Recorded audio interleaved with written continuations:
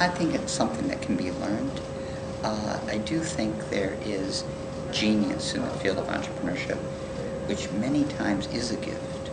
That uh, somebody will see things that other people don't see and understand markets in a really unique way. And I think some of that's God given. And I also think that reading, studying, thinking, being part of an entrepreneurial community, that, that you can learn huge amount about what it takes to be a good business person, how to solve needs of other people and do so uh, with a profit, how to use resources to build your community. So um, I answer yes to both those questions.